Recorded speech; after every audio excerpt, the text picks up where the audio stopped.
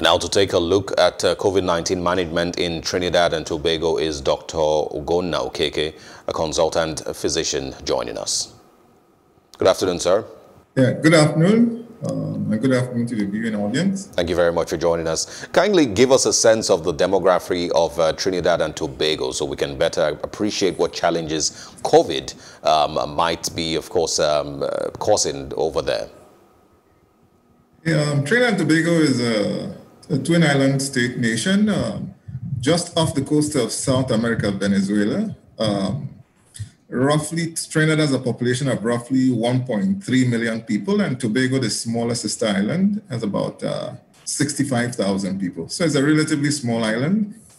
Uh, about 42, 43% um, uh, people of African origin, that is, uh, people who were brought here during the slave trade. So they're um, our brothers and sisters in the diaspora, and another 42% um, uh, East Indian descent, uh, people who came as indentured labor in the 17, 1800s.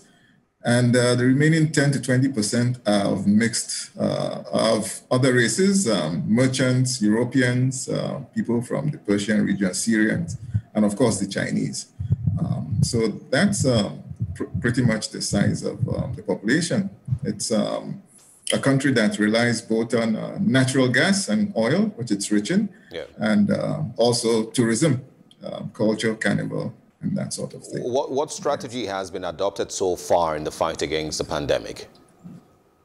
Um, Trinidad and Tobago has been quite uh, excellent. In fact, uh, probably one of the leading uh, nations in terms of fighting um, um, the COVID pandemic. Um, like the rest of the world, everyone was amazed um, here, seeing the news from China um, from late December to early January of this uh, new virus, SARS-2, which um, was overwhelming, where China was building hospitals in less than two weeks.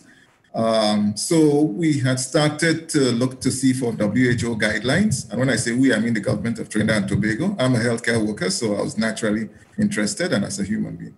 Uh, so um, testing um, of um, people coming into the seaports and airports was the first initial um, process because there's no direct flight except from the US or from the UK and uh, parts of South America. So it meant that any new cases, any new people coming in, probably with COVID, would have to pass through the airports or seaports.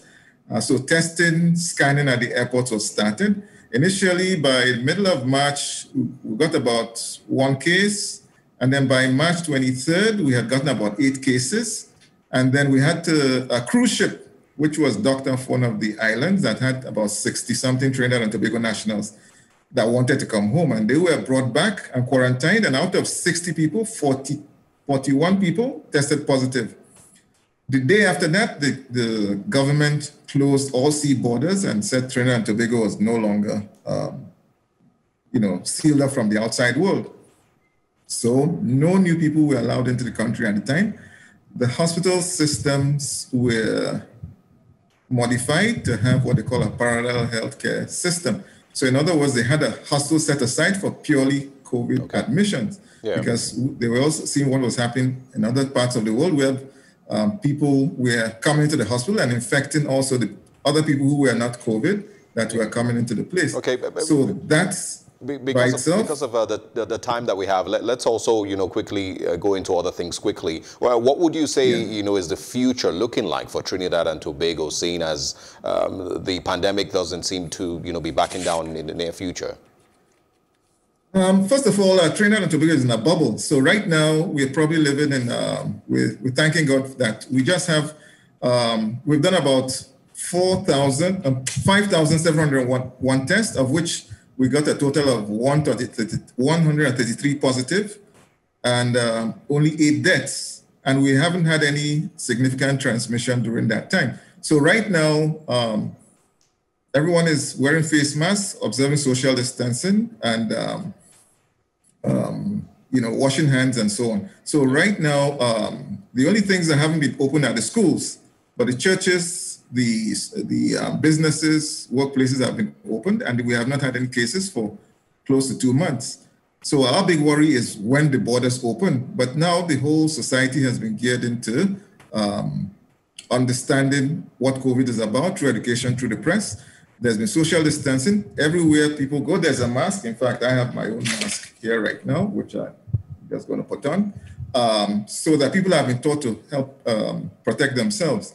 So the future is that we're going to have to live in a world with COVID. Yep. We understand that, but we've been successful in minimizing it, stopping community spread, okay. having testing, and we're prepared to um, Okay. We're in a better position to deal with this. All right. Um, we really enjoyed this conversation with you. Um, thank you so much for being a part of our news and uh, stay safe um, all the way in Trinidad and Tobago.